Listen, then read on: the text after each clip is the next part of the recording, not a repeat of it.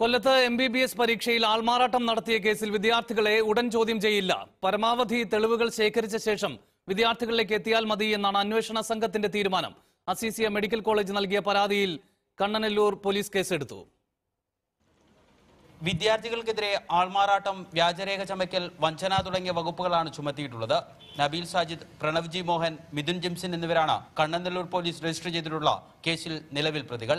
ഇതിലൊരാൾ രണ്ടായിരത്തി പതിനൊന്നിലും രണ്ടുപേർ രണ്ടായിരത്തി പന്ത്രണ്ടിലും പ്രവേശനം നേടിയതാണ്. അന്വേഷണം പുരോഗമിക്കുന്ന മുറയ്ക്ക് അധ്യാപകർ ഉൾപ്പെടെയുള്ളവരെ പ്രതി ചേർക്കും പോലീസ് ഉദ്യോഗസ്ഥർ ആരോഗ്യ സർവകലാശാലയിൽ നേരിട്ടെത്തി തെളിവുകൾ ശേഖരിക്കും. കോളേജിലെ സി ദൃശ്യങ്ങളും പരിശോധിക്കുന്നുണ്ട്. ജനുവരിയിൽ നടന്ന മൂന്നാം വർഷ M B B S part ഒന്ന് പരീക്ഷയിലാണ് ഗുരുതര ക്രമക്കേട്. കൊല്ലം മീയണ്ണൂർ അസീസിയ മെഡിക്കൽ കോളേജിലെ മൂന്ന് വിദ്യാർത്ഥികൾക്ക് വേണ്ടി മറ്റാരോ പരീക്ഷ എഴുതിയെന്നാണ് നിഗമനം. തുടർന്ന് കോളേജിലെ പരീക്ഷാ കേന്ദ്രം സർവകലാശാല റദ്ദാക്കി. പരീക്ഷാ ചുമതലയുണ്ടായിരുന്ന നാല് അധ്യാപകരെ സസ്പെൻഡ് ചെയ്തു.